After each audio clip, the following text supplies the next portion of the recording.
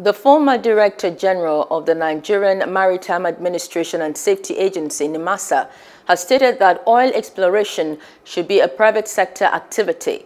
He said this earlier on Plus Politics while speaking about the 30% allocated to the Frontier Basin Exploration Fund by Nigerian lawmakers.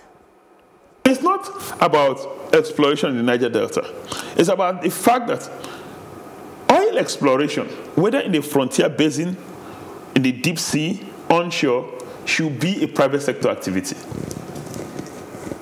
It shouldn't be the primary concern of government. Now, it is a profit-oriented venture. And the, the, the best government should do ought to be to provide some basket of incentive. Listen, if you do exploration and you find oil, we're going to give you the following concession. In other clients, that's what's done. Not for government itself to fund exploration.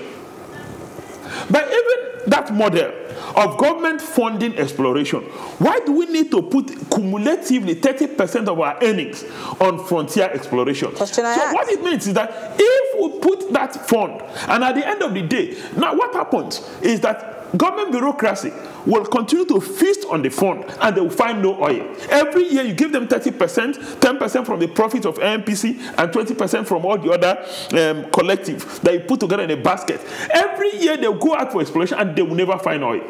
The reason is simple. They are comfortable having 30% of that fund.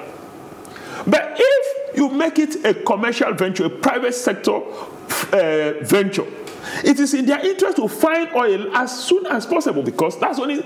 Hello. Hope you enjoyed the news. Please do subscribe to our YouTube channel and don't forget to hit the notification button so you get notified about fresh news updates.